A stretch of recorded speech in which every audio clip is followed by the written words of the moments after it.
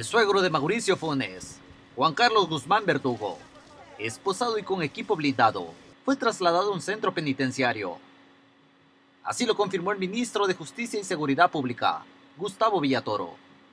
La oficina de Interpol, más el equipo de, de nuestra policía, en coordinación con la Dirección General de Centros Penales, este día va a ser el traslado de Juan Carlos Guzmán hacia el penal de máxima seguridad.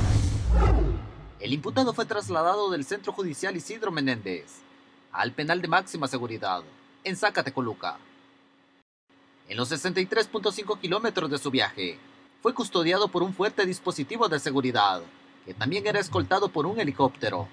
El padre de Ada Michelle Guzmán, compañera de vida del exmandatario Mauricio Funes Cartagena, es acusado de lavar 133.564 dólares en el caso saqueo público.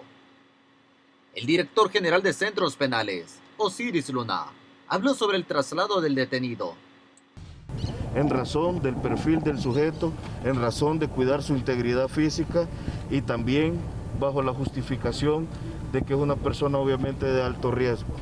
Desde, ese penal re, reúne todas las condiciones para poder salvaguardar su integridad física y que sea verdaderamente este un proceso, garantizar la presencia de este sujeto dentro del proceso.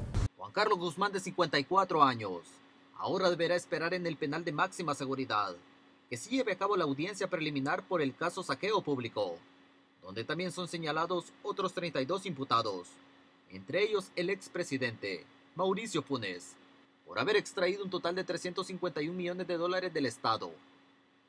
William Chanta, TCS Noticias.